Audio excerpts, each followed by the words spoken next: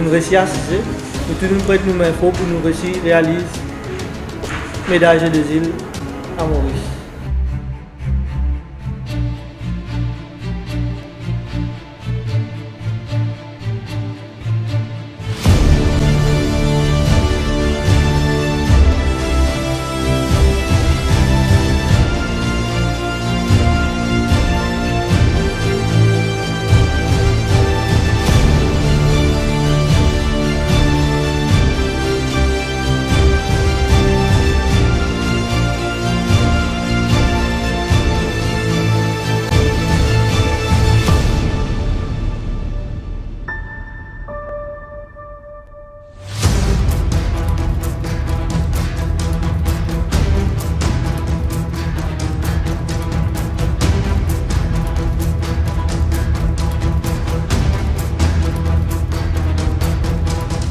Ici, au contrôle, on vérifie si toutes les étapes ont été respectées, le design, les chiffres, les lettres, la forme.